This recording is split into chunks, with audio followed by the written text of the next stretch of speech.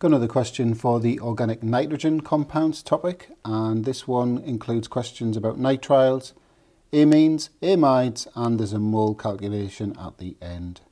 As always, the link to the questions in the description of the video if you wanted to try them first. So the first question is testing our knowledge of organic reactions. So can sodium cyanide in ethanol react with this? And the answer is no, because it reacts with carbonyls. We don't have a carbonyl group in this substance. So there's our answer there, A. And just for revision purposes, let's just run through the others to explain why they weren't the right answer. So ethanol, in the presence of an acid catalyst, can react with the carboxylic acid group and make an ester. Acid anhydrides can react with alcohols, again, to make an ester. And concentrated sulfuric acid can react with an alcohol and dehydrate it to an alkene. So that's why A was the answer. Moving on to the next question, again testing our knowledge of the organic reactions. So which of the following reaction produces propan-1-ol? The alkaline hydrolysis of 1-chloropropane well, there's the equation, and you can see it has produced propan-1-ol. Reaction 2, the acid hydrolysis of propyl methanoate. So there's the reaction there, and you can see it's making propan-1-ol again. And the third reaction, the acid hydrolysis of propane nitrile. So there's the equation. It hasn't made propan-1-ol, it's made propanoic acid and ammonium chloride. So 1 and 2 only, so the answer was B.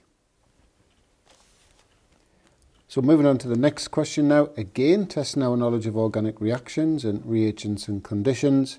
So propanone, when it's reacted with NABH4, it gets reduced to a secondary alcohol. So that's going to generate that product there, which is propan2-ol. Moving on to the next reaction. So how do you go from this to this? How do you turn an alcohol into a halogenoalkane? alkane? You react it with sodium bromide in this case, because we're putting bromine on, sodium bromide and sulfuric acid. And for the rest of the flowchart, we've got to focus on salt H here. So what needs to be in this box before then? Well, we need an NH2 group. We need to generate an amine here. So there's the structure of the amine there. So now all we need to think about is, well, how do you go from a haloalkane to an amine? We react it with ammonia in ethanol. And now the final change, so what's happened, we've gone from NH2 to NH3Cl, so it's obviously reacted with HCl. Moving on to part B, so apart from the benzene ring, what other functional groups are in aspartame? So we'll just go from left to right. The first one is the ester group. The next group we've got is this one here. So this is an amide group. It's actually a secondary amide, but we just had to say amide. The next group is this one here. So we've got an amine. That's a primary amine. But again, we just had to say amine. And there's one more functional group. This one here is obviously a carboxylic acid. Moving on to the next part. So the aspartame is hydrolyzed with aqueous acid so we've just got to think about which bonds are going to be broken. So the ester bond will be broken, so this one here, and the amide bond, so that's that one there. Okay, so we'll just take each part in turn. So there's a organic compound formed here, that's going to be methanol. Then if we think about this bit between those two broken bonds, so this C double bond O part becomes a carboxylic acid group. The NH becomes an amine group, but because it's aqueous acid that's um, doing the hydrolysis, the nitrogen can accept H plus ions from the acid and it becomes an NH3 plus group. And then finally, this part here.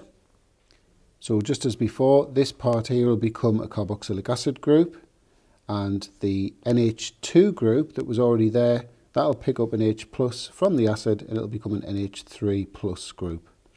And finally, the amount of substance calculation, the mole calculation. So the first thing I'm going to do is work out the maximum daily intake for a typical adult. So I'm just going to multiply the per kilogram value by the average mass of a person. So 75 times that. Next thing I want to do is work out how many moles of aspartame are in a can of diet drink, so just mass over MR. So that's how many moles of aspartame are in the can. So the maximum number of cans that you can drink safely is going to be the maximum number of moles divided by the moles per can. So that's coming out at 22.45 cans, so you could either say 22 cans or you could say 23.